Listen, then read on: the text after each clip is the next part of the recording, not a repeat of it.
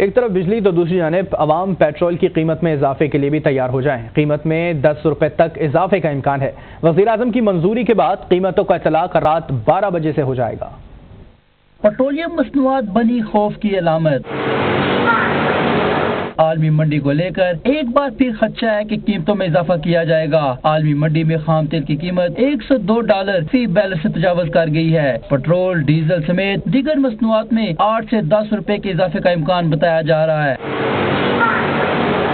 आमदन और अखराज के बड़े फ़र्क में उलझे हुए शहरी एक बार फिर इजाफे के इम्कान पर तशवीश का इजहार कर रहे हैं। कहते हैं, हुकूमत पेट्रोल की कीमत में इजाफा करके हमारे जख्मों को हरे कर रही है। सूरत जो है, रोज बरोज बदतर होती जा रही है। हम तो यही अपील करते हैं हुकूमत से कि हमारे लिए थोड़ा सा आप सोचें। मुल्क में समझ ही नहीं आती किधर जा रहा है पेट्रोल।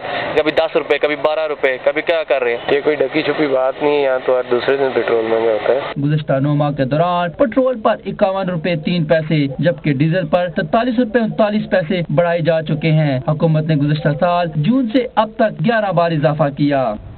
खबरें और भी